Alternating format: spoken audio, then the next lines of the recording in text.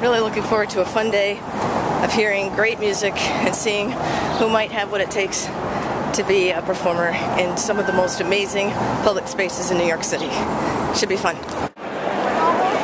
What inspires you? Unconditional love and positive energy.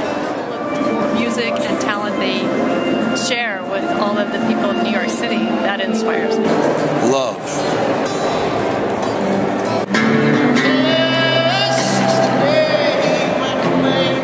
Inspires me? Passion.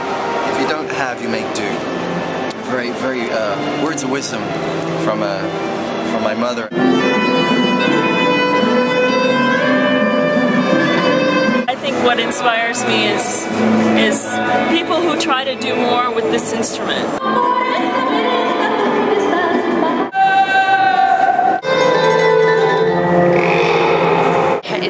Like my entire American Idol judge fantasy, like just with bagels. It's awesome. I get inspired by everybody in New York that because they they inspire me when I inspire them. Independent artists or just artists themselves, they come with different eclectic stuff from different parts of the world and just being able to just take it all in. I wish I could say yes to everybody, but it's kind of tough sometimes. Arts for Transit is spectacular. You can I don't think I've seen it anywhere else, and so it's just giving um, you know the people that that um, commute every day just a sense of oh wow I feel I feel better. There is a very big interest on the part of the strap hangers, and I, I from the first day I felt that, and that inspired me to keep going. And especially for children, the children love violin, so I feel like I'm doing a public service for classical music, especially.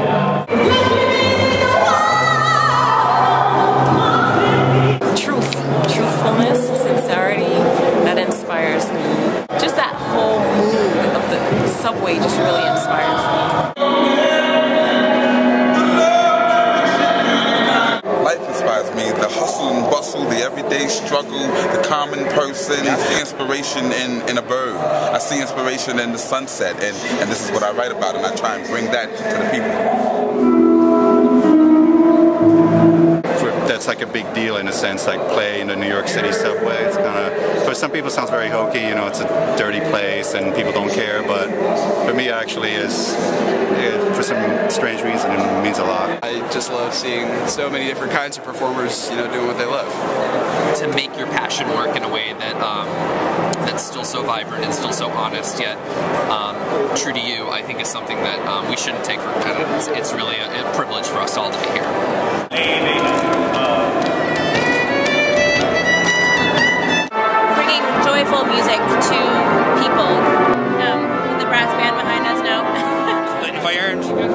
50, 50 cents busking or 50 cents through a concert, I think the 50 cents from busking is more valuable.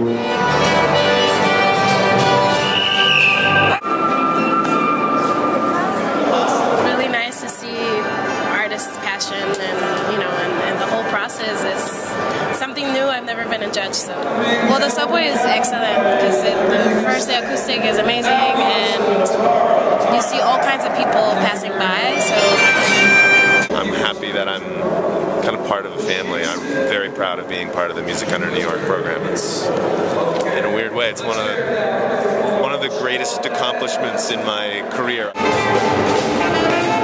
Lucky see, lucky dude.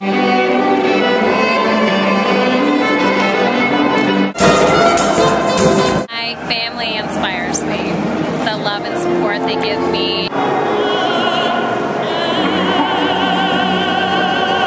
Think what inspires me is the response of the audience. The fact that we can inspire people on a daily basis and change people's lives. It only takes a moment to make a positive or a negative difference. So hopefully we're making positive differences. The thing I keep learning and figuring out is uh, you can be really talented and wonderful, but you may not be right for performing in the subway. It's a different skill set. Not anyone can do it. So it's, it's keeping an eye out for those special acts and artists who can do that.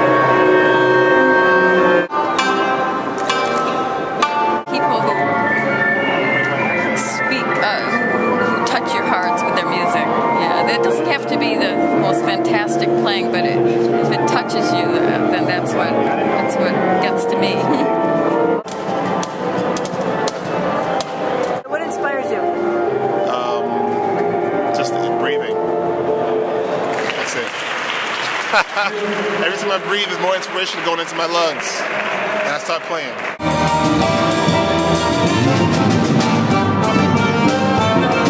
Yeah, cooking inspires this man. Yeah, cooking. Cooking. Meatballs inspire me.